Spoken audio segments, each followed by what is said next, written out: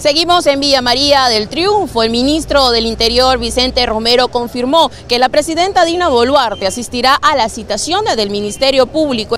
Mire, la presidenta ha sido clara. Ella, en primer lugar, ha dicho que va a asistir, como corresponde. Ella no está en contra de eso, al contrario.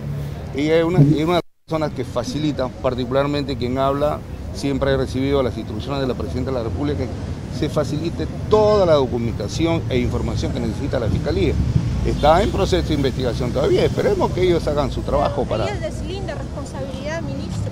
Mire usted, las cosas son totalmente claras. Hay un tema que tenemos...